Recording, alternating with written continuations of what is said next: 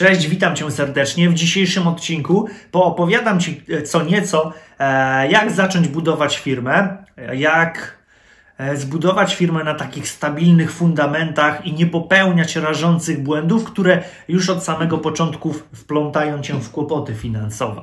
Pierwsze, o czym musisz zadbać i wiedzieć, to jest mm, zbudowanie oferty. Twoja oferta, nieważne jaki biznes prowadzisz, powinna składać się z takich czterech podpunktów.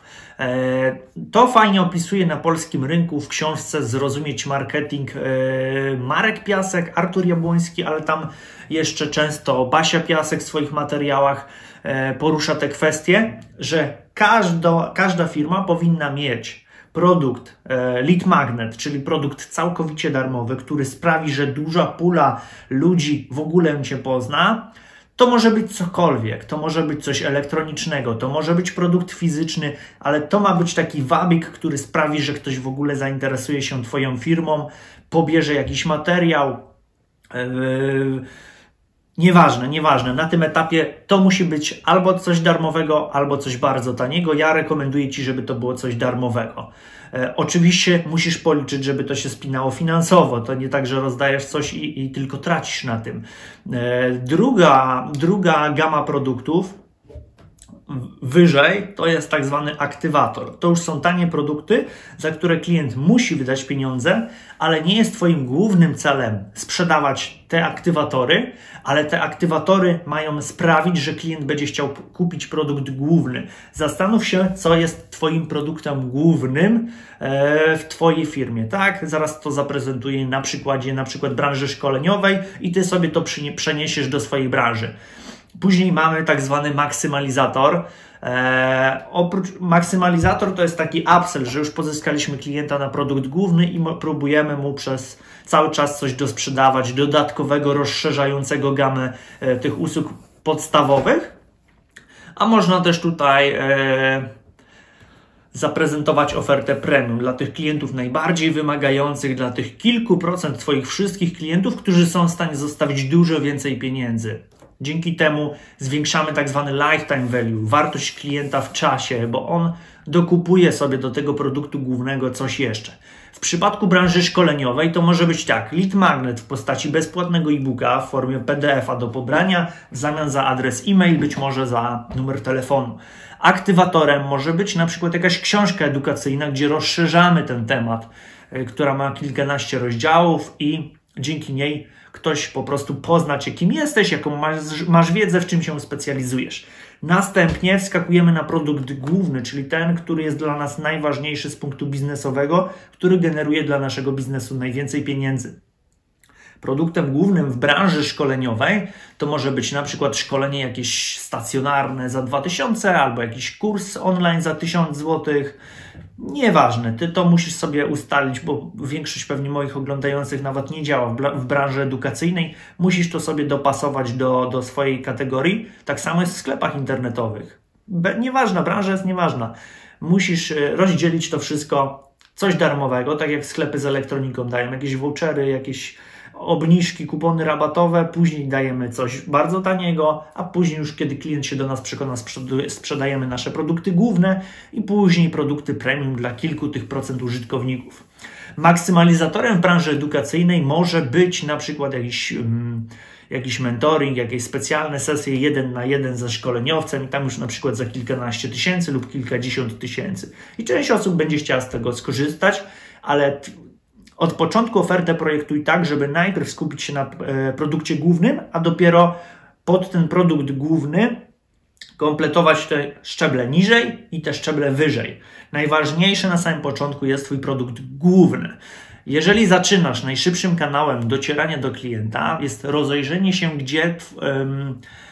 Gdzie są Twoi klienci pośród różnych innych firm, które mogą robić rzeczy komplementarne do Twoich? Czyli jeżeli działasz onlineowo, tak jak ja, zastanów się, kto ma w swojej społeczności już Twoich klientów. Bezpośrednio możesz uderzać do takich osób, aby Ciebie polecili, albo w przypadku, kiedy chcesz bez czyjej społeczności dotrzeć, to piszesz bezpośrednio tych firm, do tych firm e, cold maile, czyli zimne maile i zimne telefony To jest najszybsza metoda, jeżeli startujesz od całkowitego zera, nie masz kontaktów, nie masz znajomości, nie masz budżetów reklamowych, cold maile i cold call i to sobie dzwonisz, a w międzyczasie budujesz content, e, żeby na long term, czyli ten długi termin, trafiali się klienci pod wpływem Twoich treści w internecie. Mogli Cię gdzieś wyszukać, znaleźć. Na samym początku robisz sprzedaż z tych zimnych maili, zimnych telefonów, a w międzyczasie budujesz pozycjonowanie dla swojego bloga firmowego, dla swojego kanału na YouTube i to zacznie generować klientów za 4 miesiące, 5-6 miesięcy, ale Ty dzisiaj już musisz mieć dopływ gotówki, czyli zimne maile, zimne telefony i korzystanie z cudzych społeczności. Zakoleguj się z innymi ludźmi, może świadczą jakieś usługi komplementarne, że macie tych samych klientów, ale sprzedajecie różne rzeczy, nie ma konfliktu pomiędzy waszymi interesami i możecie te pieniądze, które chce klient zostawić, sprawić, żeby one się nie rozeszły z tej waszej siatki kontaktów dzięki takiej kooperacji, współpracy. Zaraz przejdziemy do pliku. Jeżeli to oglądasz, zostań do końca, bo będziemy pokazywali na komputerze, jak ja to robię. E, takie najważniejsze parametry, które należy gromadzić i mierzyć w początkowym biznesie, początkującym biznesie, ale jeszcze chcę Ci powiedzieć od samego początku. Nieważne, nie skupiaj się w tej chwili na podatkach, kosztach, że masz na przykład wynająć lokal. Przypuśćmy na gabinet masażu. Chcesz być masażystą i Twoim celem biznesowym jest 30 tysięcy miesięcznie. Nie skupię się na razie ZUS, podatki, e, dotacje, to wszystko inne. To nie jest ten moment, e, bo dużo osób ogląda mnie całkowicie dziś początkujących, dopiero się gdzieś rozgląda, więc na tym się na razie nie skupiamy. Tylko na takich suchych liczbach, żeby nauczyć się takich podstaw przedsiębiorczości, jeżeli się w szkole nie nauczyłeś. E, jesteś masażystą, chcesz 30 tysięcy miesięcznie. Jesteś w stanie fizycznie przeprowadzić 5 masaży dziennie po stówce czyli dziennie zarabiasz 500 zł. Czyli jeżeli byś prowadził codziennie, full time te masaże, bo nie ukrywajmy, to jest gdzieś praca taka fizyczna i nie jesteś w stanie więcej niż 5 pacjentów dziennie przyjąć. Więc masz 500 zł dziennie razy 30 dni, czyli wyjdzie 15 tysięcy złotych, zacharowywując się na śmierć, patrząc na wersję optymistyczną, że ty non-stop masz klientów, że masz fenomenalny marketing, że nie, nie wydajesz na reklamę, zostaje ci 15 tysięcy pracując w sobotę i niedzielę. A wiesz, że pacjenci może nie będą chętnie przychodzić w niedzielę. Czyli w najbardziej optymistycznym scenariuszu masz fenomenalny marketing, że jesteś w stanie zapełnić tych ludzi na full e, i pracujesz w soboty i niedzielę i masz 15 tysięcy, a ty zakładałeś 30 tysięcy, więc w jaki sposób to w ogóle uzyskać i większość firm wykłada się już początkujących na tym etapie, że nie doszacuje sobie w ogóle swoich cen, nie zastanowi się. Otwiera jakiś gabinet z czymś tam, nie doszacuje cen, nie wie jakie ma koszty, a te koszty jeszcze później doliczymy. Ale masz pracownika. I wtedy zamiast 8 godzin pracy jesteś w stanie, e, wspólnie jesteście w stanie pracować 16 zatrudnisz dwie osoby, 24 godziny ci się pojawiają ty już możesz powoli zacząć robić prace biurowe. Ci dwaj są w stanie wygenerować te 30 tysięcy. Jeżeli ty jeszcze im pomagasz, jesteście w stanie zrobić 40-50, wypłacasz im wynagrodzenie i tak dalej. I ty sobie pomyślisz, że to jest świetny motyw, nie? Ale tu też jest kolejny element, że wcale zarządzanie ludźmi, to nie jest taka prosta sprawa, że ty sobie kogoś zatrudnisz i on będzie wykonywał tą pracę za ciebie. Oj nie. Po pierwsze, masz dodatkowe, duże koszta zatrudnienia takiej osoby. Po drugie, musisz ją w jakiś sposób kontrolować, czyli sprawdzać, jak e, ona obsługuje klientów, czy świadczy usługi wysokiej jakości. To nie może być tak, że przyjdzie ktoś z ulicy, będzie świadczył za ciebie usługę i ty się później będziesz e, wstydzić. Musisz pewnie kogoś zatrudnić do marketingu, żeby mieć aż tyle pacjentów, żebyście we trójkę masowali od rana do nocy, tak? E, a może chcesz mieć weekendy wolne, więc tutaj się wszystko komplikuje. Masz koszty związane z pracownikami i przez, na początku pewnie kilka osób zwolnisz, zanim będziesz zadowolony lub zadowolona z tego, co e, uzyskasz, bo przyjdą po prostu niewłaściwi ludzie, nauczysz się rekrutacji, e, trafią się osoby niekompetentne, być może zepsują ci jakąś renomę, opinię albo coś odwalą. Trzeba ich kontrolować w sposób umiejętny, etyczny, oczywiście na partnerskich zasadach, ale trzeba umieć też im zarządzać, wyznaczać cele, nauczyć ich tej obsługi klienta wysokiej jakości i popatrzeć też, czy pod kątem merytorycznym, czy robią to wszystko dobrze, czy, czy, czy mają wystarczającą wiedzę i doświadczenie, a nie sam dyplom.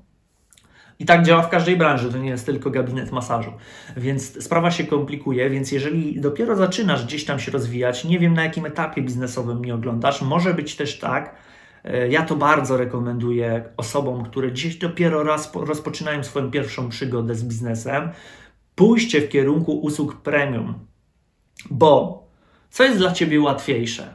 Ja z punktu widzenia marketingowego Ci powiem, bo, bo e, to jest mój chleb powszedni.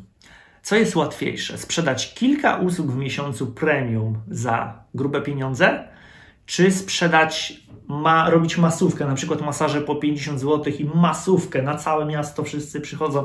Co jest łatwiejsze? Sprzedać bardzo dużą ilość tanich produktów, czy kilka produktów miesięcznie w bardzo drogich cenach? Będąc osobą początkującą, to już Ci odpowiadam. Dużo łatwiej jest sprzedać kilka produktów w skali miesiąca. Mniejszy stres, wiadomo, że cena może być na początku dla Ciebie obiekcją, że jak coś może kosztować aż tyle, ale Ty docierasz do specjalnej grupy klientów, segmentu na danym rynku. Oczywiście może Cię ograniczać lokalizacja, jeżeli prowadzisz biznesy lokalne, co dla mnie już w dzisiejszych czasach jest sporym utrudnieniem. Od razu ja myślę, żeby działać na całą Polskę albo global nie skupiałbym się tylko na miejscowościach, ale być może Twoją pasją jest jakaś tam określona dziedzina życia, gdzie chcesz działać hmm, stacjonarnie, to sprawdź, czy w Twoim mieście w ogóle jest potencjał na taką pulę klientów w takich pieniądzach.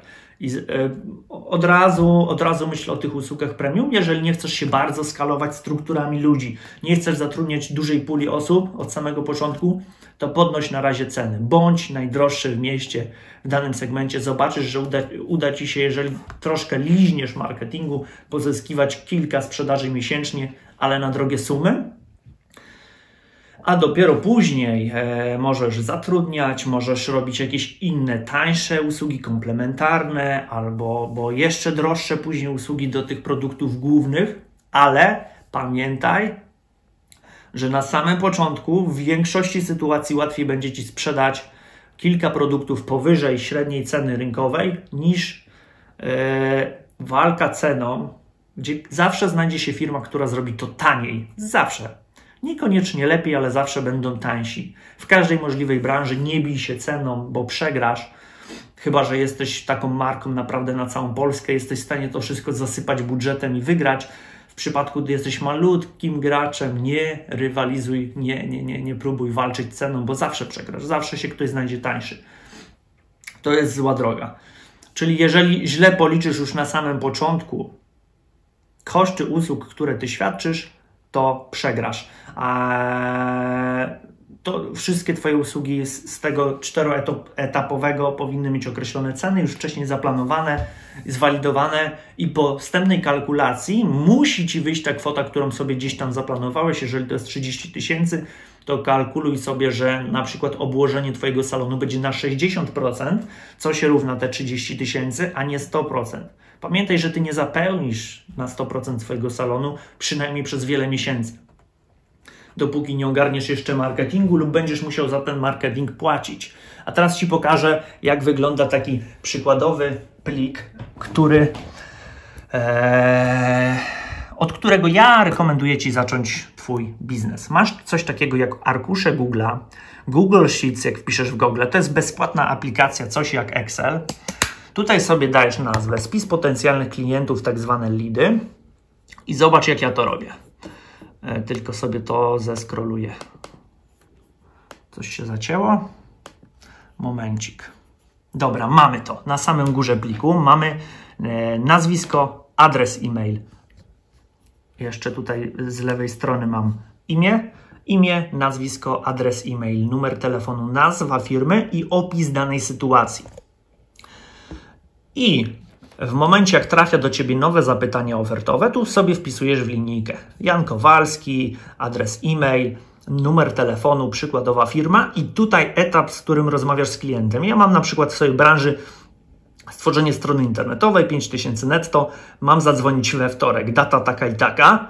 Na tym etapie jestem rozmów z klientem, zapisuję sobie ile potencjalnie może to wynosić ta sprzedaż, jeżeli do niej dojdzie ja nie używam żadnych systemów CRM oprócz czegoś takiego.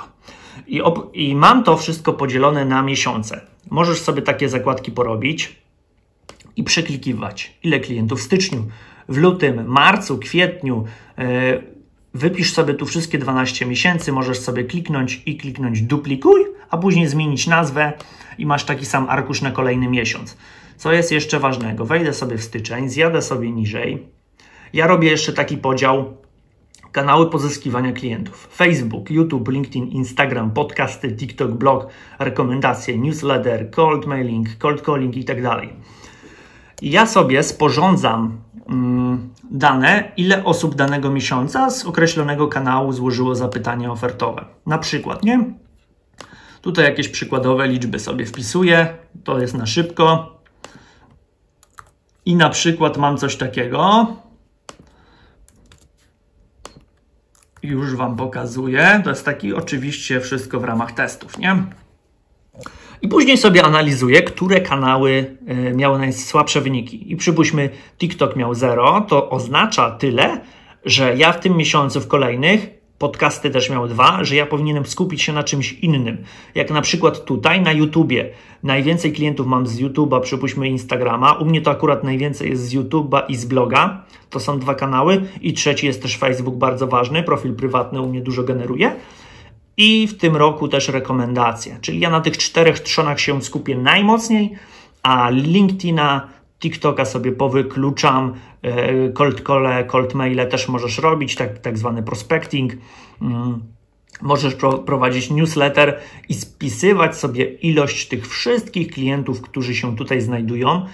E, jeżeli 90% firm robi to, albo tego nie mierzy, albo to mierzy źle, nieumiejętnie, nie czyta, nie działa, nie rozwija biznesu na podstawie danych, a rozwijanie biznesu na podstawie danych to jest.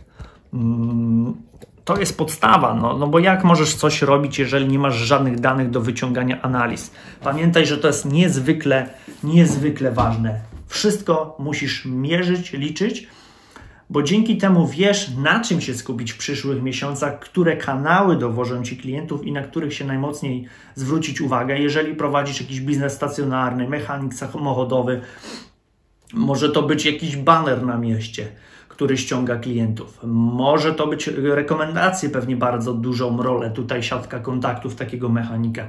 Wyszukiwarka płatne reklamy z Google'a.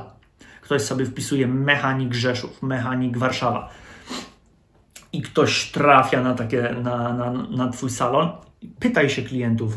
Bardzo dużym problemem jest to, że firmy nie pytają się, skąd ten klient do nas trafił. Ja mierzę praktycznie każde zapytanie ofertowe, skąd się trafiło.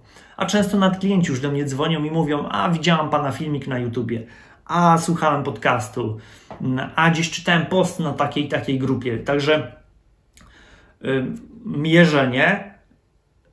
Mierzenie to jest podstawa, badanie tych wszystkich kanałów, co, gdzie, jak, co się dzieje, zrobienie sobie takiego pliku w darmowych arkuszach Google'a. Nie potrzebujesz na ten moment żadnego CRM-u. W przyszłości możesz sobie zainwestować na przykład w, w People Drive, jest takie narzędzie E, I, i, i, i, rozłożenie tej oferty na te cztery segmenty, czyli lead magnet, aktywator, produkt główny, maksymalizator i ta cała ścieżka do, do klientów premium i odpowiednie rozplanowanie tych cen. Jeżeli ty się źle wycenisz już na starcie, nie policzysz, ile ty godzin musisz pracować, aby osiągnąć swój cel i ci, ci, ci się to nie zepnie, będzie to prowadziło w krótkim okresie do wypalenia, będziesz pracować soboty i niedzielę od rana do nocy, a nie będzie to przynosiło zadowalających profitów. Dlatego mm, niech ci się nie wydaje też, że zatrudnianie osób to jest taka prosta bajka. Mm, sama rekrutacja, poziom, poziom rekrutacji to nie są wszystkie łatwe rzeczy. I chcę, żebyś z tej lekcji wyciągnął sobie, że, że łatwiej jest sprzedać kilka produktów w drogich cenach na początku tej swojej ścieżki, niż sprzedawał bardzo dużą ilość produktów tanich i nigdy nie zakładaj aż tak optymistycznych scenariuszów, że będziesz mieć oblegane wszystkie terminy 100%. Załóż sobie wersję od 40 do 60% na przykład, że będziesz mieć oblęże, o, oblężenia, obłożenia e, i pomyśl w pierwszej kolejności, jak ty będziesz sprzedawać, jakimi kanałami, co tam będziesz robić, czy będziesz tylko przyklejać gdzieś posty z fanpage na jakąś grupę, czy masz na to jakąś strategię, plan i jesteś w stanie to zmierzyć? Każda złotówka wydana w internet powinna być przez ciebie mierzona. A jeżeli nie działasz online'owo, pytaj swoich klientów, jak na ciebie trafili. E, nie zapomnij zostawić subskrypcji, dzwoneczka. Pozdrawiam cię serdecznie. Tomasz Guzik, marketing i sprzedaż.